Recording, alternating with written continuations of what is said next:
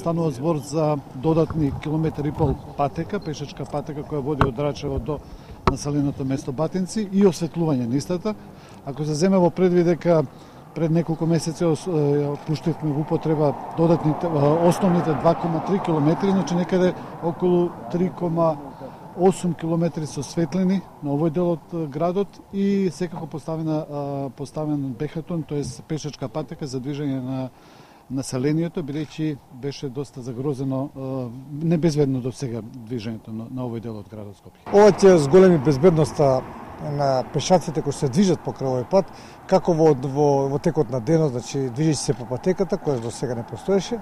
така и во нотните часови, со, поради осветувањето кое што е ставено, наистина голема инвестиција, меѓутоа сметам дека а, ова население заслужува ова инвестиција, заради тоа што а, го, многу жители живеат на овој дел од градот Скопје.